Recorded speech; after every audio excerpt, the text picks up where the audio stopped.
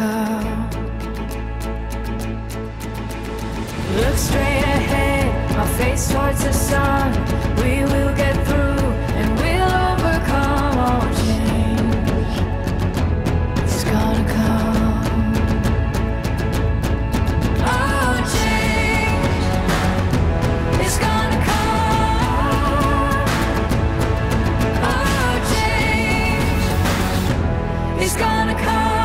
Hi, my name's Hans Hess. Thank you so much for joining me for my television broadcast today.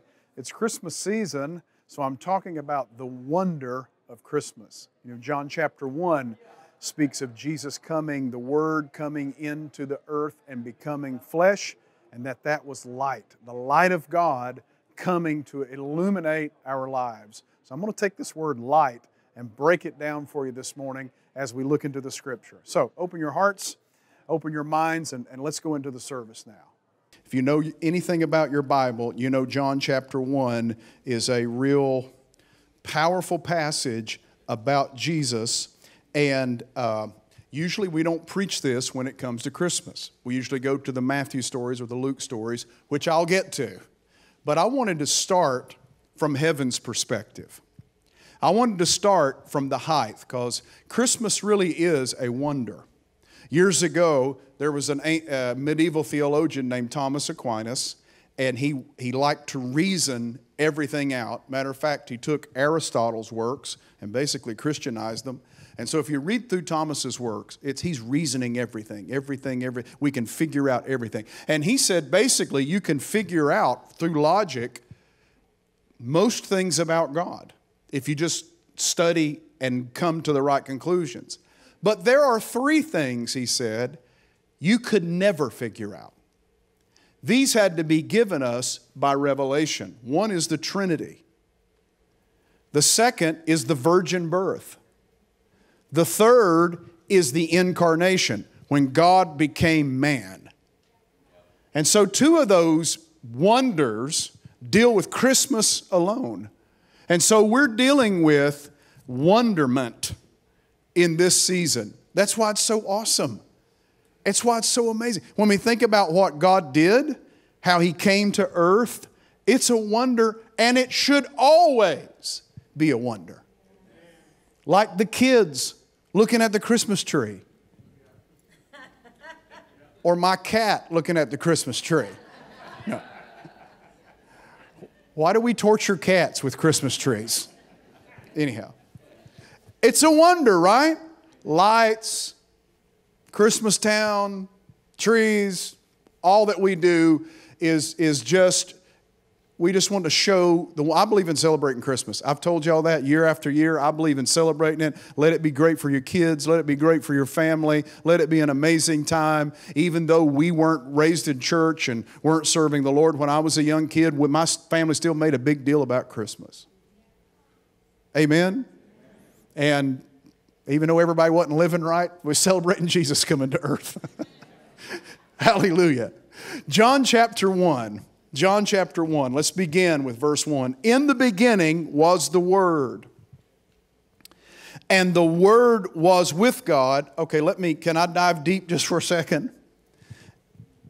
In Neoplatonism, which was a prominent the, uh, philosophy at this time, they believed in what was called the Word or the Logos or Logos, that was a controlling, that was a supernatural like uh, power in the universe. Let me just simplify it.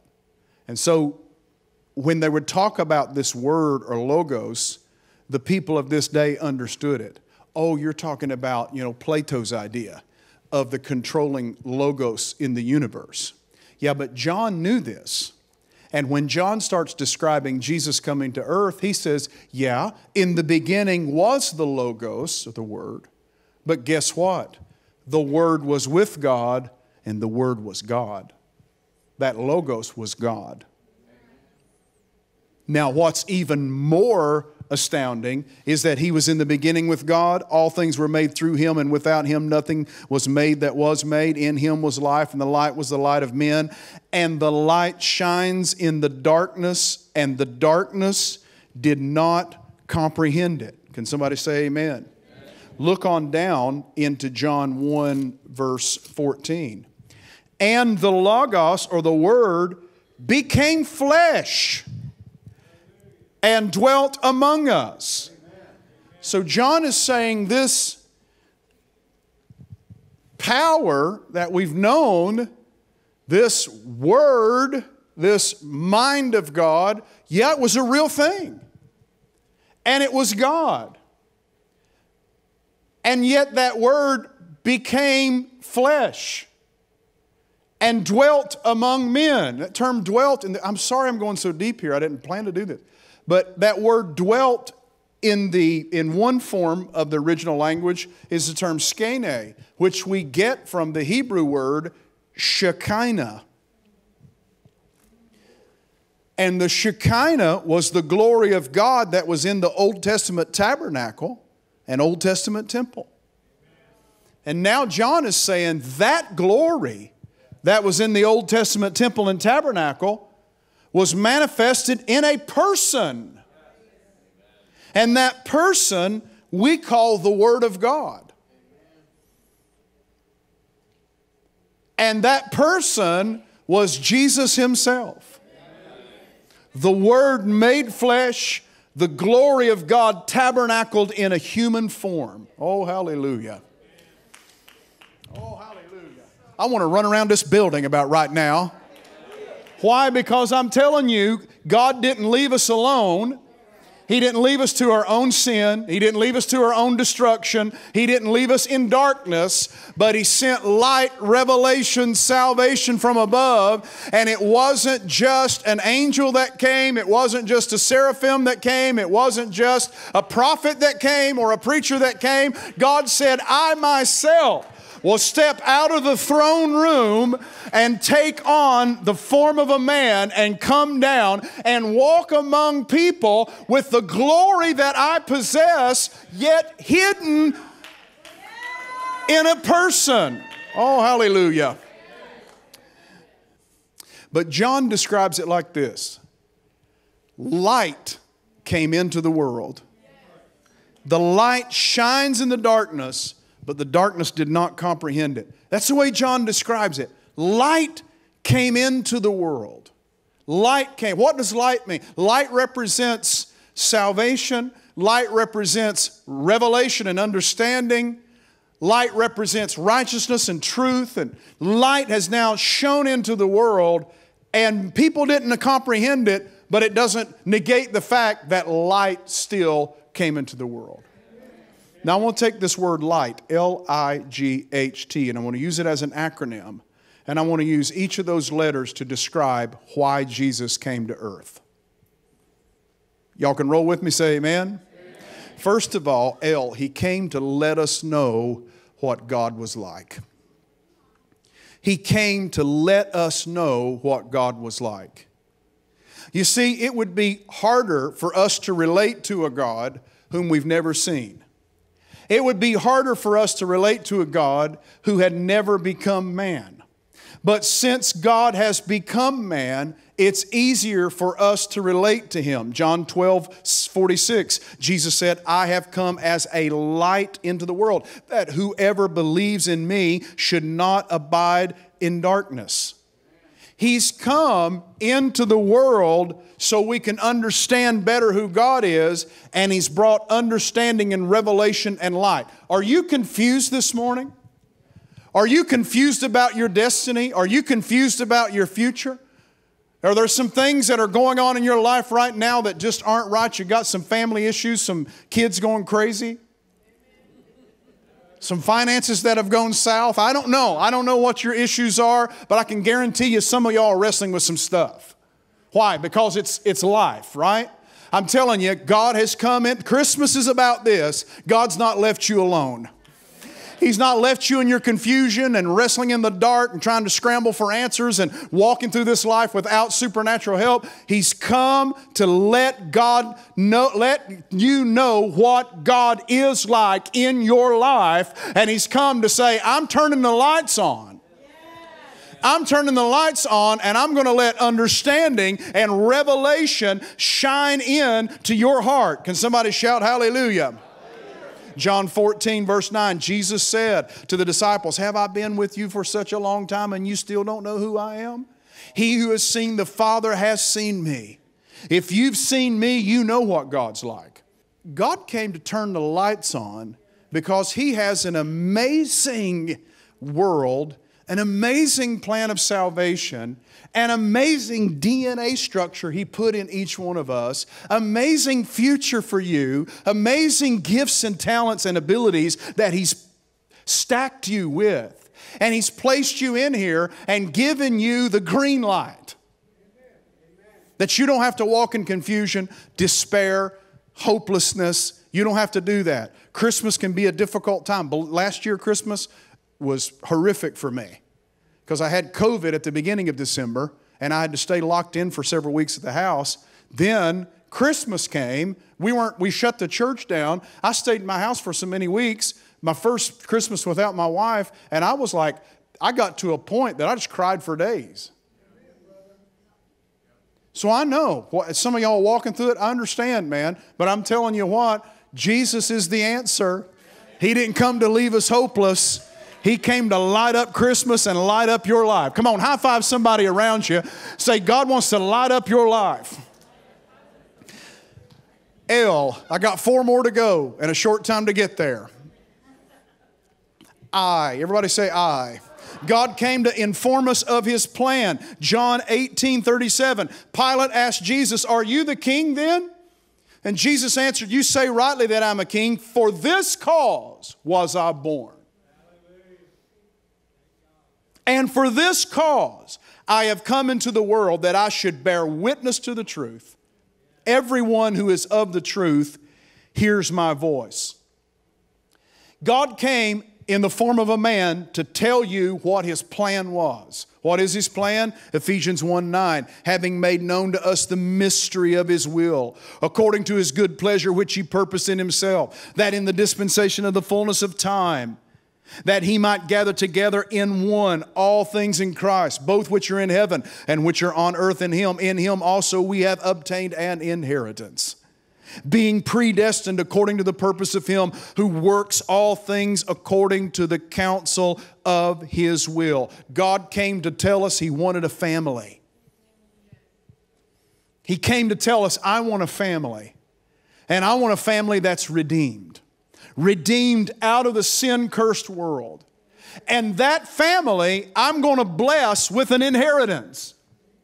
And that inheritance is so amazing eye has not seen, ear has not heard, neither has it entered into the hearts of man what God has prepared for us.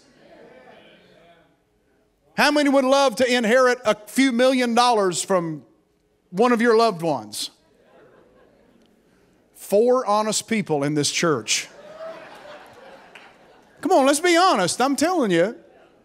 I have something greater than several million dollars. I have something greater than the, all the money or all the gold in California. I have something greater than that that I'm preaching about this morning. I have an inheritance I'm talking about that's going to last you throughout eternity. Hallelujah. It won't rust, it won't grow old. People can't break in and steal it. It's in heaven's bank account. Hallelujah. It's called eternal life. It's all the blessings of the Father. He said we are heirs and joint heirs with Jesus Christ means he's splitting heaven right down the middle. My name's on one side and Jesus is, is evidently on the other side. We're heirs and joint heirs with him. And, what, and the cool thing is, I don't have to wait to heaven to experience that. I'm feeling it right now this morning in this church. Come on, we've taken hold of the promises of God by faith, and I'm walking in the inheritance of God right now. Somebody put your hands together and shout hallelujah. He lets us know what God is like and He informs us of the will of God for our lives. Everybody say, G. G. He comes to guide our steps. John chapter 8, verse 12. Then Jesus spoke to them, saying, I am the light of the world. He who follows me shall not walk in darkness, but shall have light. How many knows light is important? Most of us have candles or have flashlights around for when the electricity goes off, right? I have a big, I, I, this is a classic story. I have a big, one of those big looking like police black flashlights on my kitchen counter, and it never works. Why do I have it there? Just in case. It might work in case I needed it one day. So when the lights go out, you know, you can it's not fun to walk through your house in darkness. I've had too many bad experiences walking through my house in the dark and slamming my little toe against the coffee table. Sorry for being so graphic. My little toe right now is solid black. You know why? Because I slammed it into the coffee table a few weeks ago. Y'all pray for me. but when you turn the flashlight on, everything changes, right? Everything changes. Even a candle helps. Everything changes. Light comes to help guide your footsteps. Light comes to push the push it a little bit further out in front of you so you know what's going on. God has come to do the very same thing in our lives. He came not to leave us without any way forward. He came to show us I have the next step in your life. I have the next season of your life waiting on you. And I don't have to sit around depressed thinking my life's over because I know God's already out in front of me. And God's already got the next season working. He already has it stirred up for me. I can't see it yet, but I'm going to walk into the next thing God has for me. You're going to walk into the next thing God has for you. That's what faith tells us that God's not going to leave us. Sorry, man, 2020, I'm out of GPS is going to fail. All the satellites are going down. I'm not going to speak to you anymore. You sorry. No. God's like, I'm already in 2022. I'm already working the relationships, opening the doors, making the connections. I'm already writing your plan. I'm already writing out your story. All you have to do is walk in it and follow my spirit. Come on, somebody shout hallelujah. You know what? You, you might ask, well, why doesn't God just give us our whole life, uh, um, you know, from birth? We, from birth, He gives us a blueprint. This is what you're going to do when you're four. this is what you're going to do when you're 15. This, because that's not what life is about. Several reasons why. Number one, it would scare us to death. Number two, I think God wants us to make the decisions and He works with us in the decisions. I'm not such a sovereignty guy that I believe, you know, like the story goes that there was one, I shouldn't tell this, so I won't tell it. There was a preacher who believed in predestination and sovereignty so much that he was walking through a building and he fell down a staircase and when he got up at the bottom, he said, Thank God that's over with. because it was planned, thank God I got that over with. Okay, sorry. Y'all ain't had enough coffee today, I'm telling you. No. I, I don't believe in that. I believe God works with us in the contingencies of life. He guides us and He lets us, He kind of gives us the keys to the shop. He's, yeah, He's overarchingly sovereign, but he says, Now I give you the ability to make the decisions. I'm going to help guide you. I'm going to help guide you. Hans, can you actually go against the will of God? Yes. You can decide not to follow him. God may show you the flashing lights and you turn and take an exit and you go the other way. Some of us have made mistakes that we knew wasn't God's will for our lives but we did them out of rebellion or out of ignorance or out of pride or whatever. But thank God for mercy and thank God for forgiveness and thank God for second chances.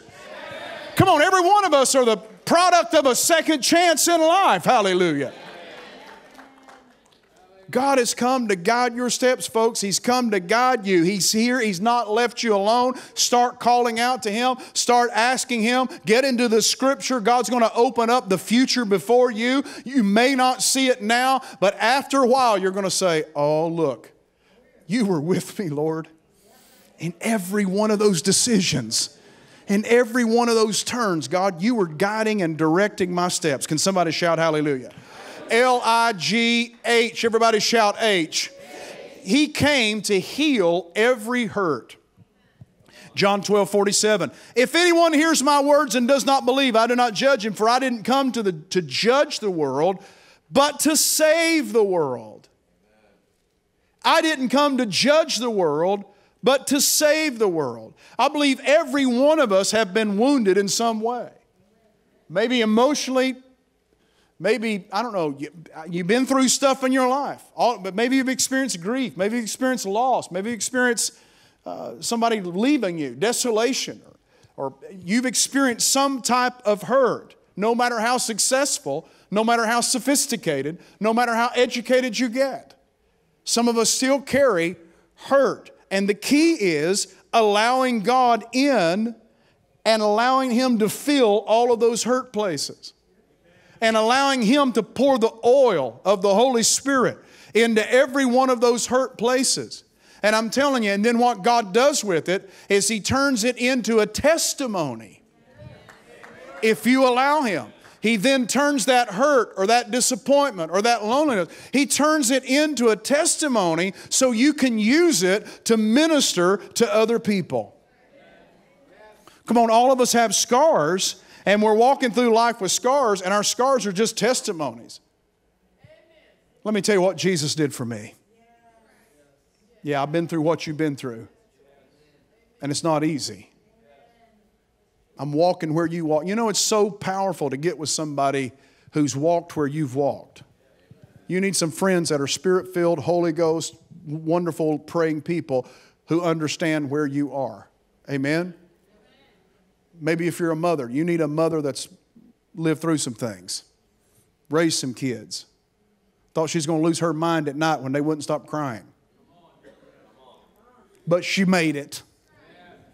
You need to talk to some people like that. Grandmas, too. Lord knows they know more.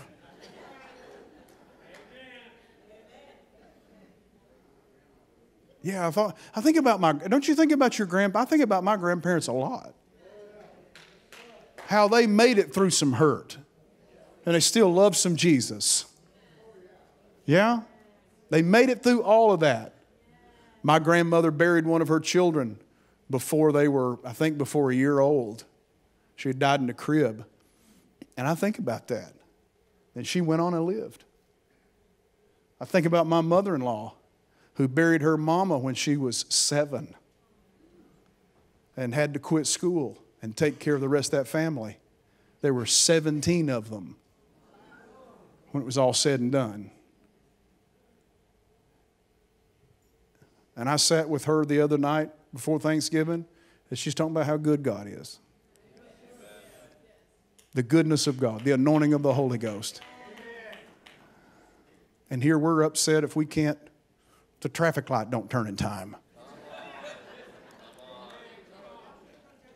There's some people been through some stuff in this world, folks. And God came to heal our hurts. Can you lift your hand just say, Thank you, Jesus? God, just thank you. You didn't leave us down here just wounded without help. You came. Final thing is the T. Everybody say T. T. He came to transform your life. That's what I prayed this morning with the leaders. I said, God, let transformation happen today. Because God doesn't want you to stay in your mess. See, some people come to church with all their junk and all their mess and want to add Jesus on and add him on to all that stuff. And the equation doesn't work that way. You got to let go of all of that stuff and allow him to come as the main and primary thing in your heart.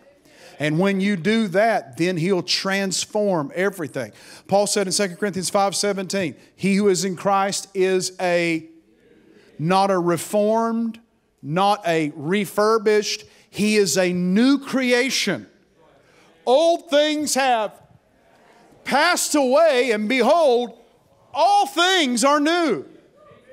I just, I've always had this belief. It happened to me and I can't get away from it. When you come to the Lord, He totally works you over head to toe. He changes your heart. And once He, he starts on the inside and starts working to the outside. And once He starts on the inside, everything becomes new. You think differently, you walk differently, you talk differently, your desires are different. Why? Because the King of the universe came in, light came in, and now there's total transformation in your heart and you're a new creation. That's what Christmas is about.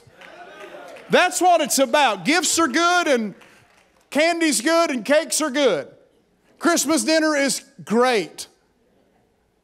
But the greatest thing is, I'm a new believer. I'm going to get up on Christmas morning saved. I'm going to go to bed Christmas Eve saved knowing that if Jesus split the eastern sky, I'm going to meet him in the air. Hallelujah. Be it on Christmas Eve, Christmas Day, New Year's Day, next year, 2025, I don't know. I'm saved and I've been transformed. Hallelujah. Not perfect, but I've been saved and I've been sanctified. I've been filled with the Holy Ghost and set aside and transformed. I'm not the guy I used to be. I'm not the man I used to be. He took the old clothes off of me and gave me some new clothes. Hallelujah. He took the old garments away and gave me a new garment. And now he says, Now, Hans, you can really run, son, because you're a new creation. I've come down from heaven, transformed you, turned you into somebody you never thought you could be. And now your future is bright. Hallelujah. Hallelujah, your inheritance is amazing. Yeah, Peter Drucker said, when asked, Why did you accept Christ? He said, I couldn't find a better deal. I mean, I, I, that's not dumbing it down, it's just the fact. I couldn't find a better deal than grace because grace comes and brings forgiveness, not based on works. And we think, oh, the only way I can be forgiven or get over this stuff in my past is if I work, work, work, or give, give, give, or do, do. But God just says, just believe. Just believe and you're saved by grace, not by works.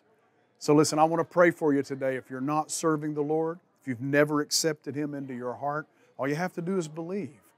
Open your heart and believe, and let the wonder of Christmas come in. Come on, pray with me right now. Father, I confess all my sins, and I turn from my sins. And Lord Jesus, I accept you into my heart. Be the Lord of my life. In Christ's name we pray. You can say amen where you are.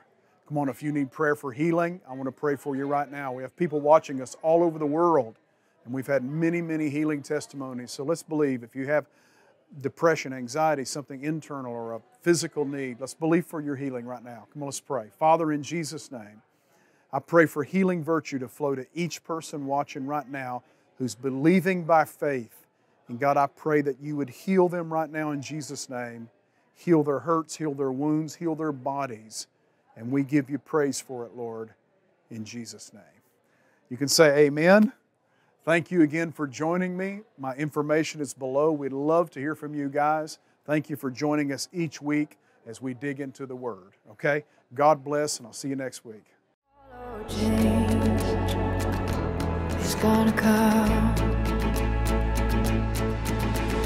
Look straight ahead, my face towards the sun. We will.